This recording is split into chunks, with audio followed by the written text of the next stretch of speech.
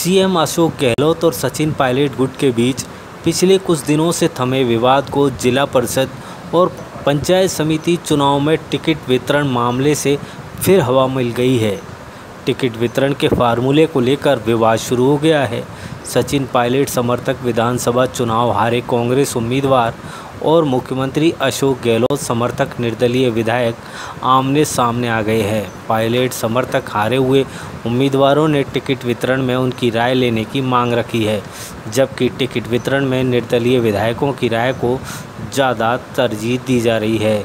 जयपुर ज़िले के चुनावों को लेकर कांग्रेस प्रदेश अध्यक्ष गोविंद सिंह डोटासरा की अध्यक्षता में हुई बैठक में पायलट समर्थक नेताओं ने टिकट वितरण में भागीदारी की मांग की है। बैठक के बाद पायलट समर्थक मनीष यादव और निर्दलीय विधायक बाबूलाल नागर के बयानों में तलखी साफ़ दिखी। शाहपुरा से विधानसभा चुनाव हार चुके पायलट समर्थक नेता मनीष यादव ने कहा है कि पार्टी ने 2018 के विधानसभा चुनाव में हमें टिकट दिया। उसमें हार गए, लेकिन उसके बाद हमारे साथ सौतेला व्यवहार हो रहा है।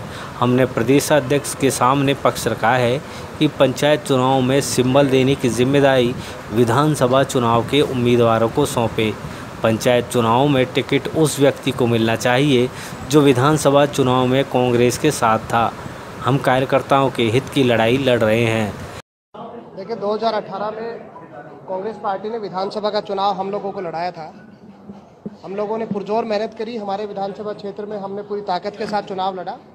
कुछ कारणवश हम चुनाव हारे, लेकिन उसके बाद में जो हमारी स्थिति हुई, वो आलाकमान तक हमने पहुंचाई। सबको जगजाहिर है कि आज कांग्रेस पार्टी के जो उम्मीदवार थे विधानसभा चुनाव 2018 में, उनके साथ दुर्व्यवहार हो रहा है और उनको निश्चित रूप से सरकार में कोई स्थान नहीं मिला। संगठन में भी उन लोगों को कोई स्थान नहीं मिला। आज भी हमने प्रदेश अध्यक्ष गोविंद डोटासरा जी के समक्ष हमारा पक्ष रखा है कि जो पंचायत के चुनाव है, इन पंचायत चुनाव में आप जो पार्टी के सिंबल देने का, कार्यकर्ताओं को चुनाव लड़ाने का जो काम है, वो पार्टी के प्रत्याशियों को सौंपो, जिन्होंने 2018 के विधानसभा चुनाव में चुनाव लड़ा है और निश्चित रूप से मैं आपको ये कहना चाहता हूँ, क्योंकि कांग्रेस पार्टी ने, आलाकमान ने हम पर भरोसा जताया, हमारे को चुनाव लड़ाया तो हमारी ज़िम्मेदारी बनती है कि हम उस कार्यकर्ता को चुनाव लड़ाएँ जिसने 2018 और 19 के चुनाव में लोकसभा चुनाव में कांग्रेस पार्टी को मतदान किया, कांग्रेस पार्टी के पक्ष में प्रचार किया, और वो प्रचार हमारे लोगों ने किया, हमारे कार्यकर्ताओं ने किया, जो पार्टी के सिंबल के साथ रहे।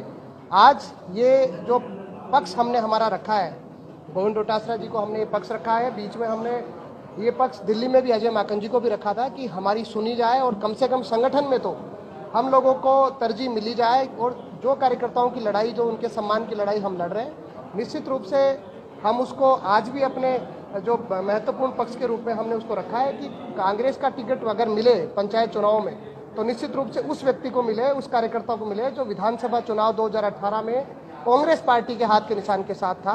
उस व्यक्ति को पार्टी का सिंबल मिले। हमारी बात हमने रखी अब ये गहलोत समर्थक निर्दलीय विधायक बाबूलाल नागर ने कहा, इन चुनावों में सिंबल वाली बात ही नहीं है। सिंबल की बात वो करते हैं जिनके मन में गड़बड़ है। सिंबल की बात करने वाले इमेचोर हैं।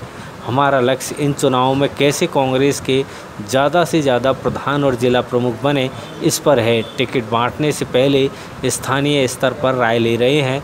पंचायत समिति स्तर पर प्रमुख लोगों की राय ली जा रही है। ये चुनाव कोई एमएलए, एमपी के चुनाव नहीं है। नागर ने नाम लिए बिना पायलट समर्थकों पर निशाना साधा और कहा कि पंद्रह दिन कांग्रेस का झंडा पकड़ने में और तीस साल तक काम करने में फ़र्क होता है।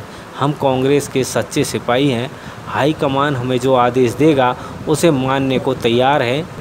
जयपुर ज़िले में केवल एक बार कांग्रेस का ज़िला प्रमुख बना है। हमारा ध्यान जयपुर में कांग्रेस का ज़िला प्रमुख बनाने पर है।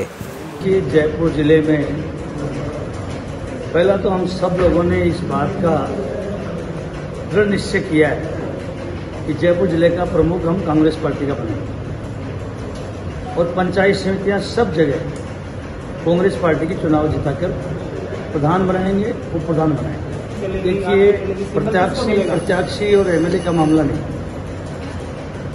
हमने ये कहा है कि कांग्रेस, हाईकमान प्रदेश की और केंद्र की, जिसमें कांग्रेस मज़बूत हो सके और जहाँ हमसे काम लेना चाहे, जिस रूप में काम लेना चाहे, हम वहाँ साथ खड़े क्योंकि हमारा एक कमिटमेंट है इस सरकार के प्रति। ये पाँच साल इस सरकार को हम समर्थन देंगे, मज़बूत करेंगे और कांग्रेस पार्टी को हम राजस्थान और जयपुर ज़िले में मज़बूत करेंगे। रही बात सिंबल। की सिंबल की बात तो वो करते हैं कि जिनके कोई मन में सोच गड़बड़ हो अब जैसे मैंने मेरे यहाँ तीन पंचायत समितियाँ हैं। मैंने ग्यारह ग्यारह आदमी कमेटी बनाई पर्चे बंटवाए पर्चे बंटवाए और मैं वहाँ एक एक उन किसको टिकट दें?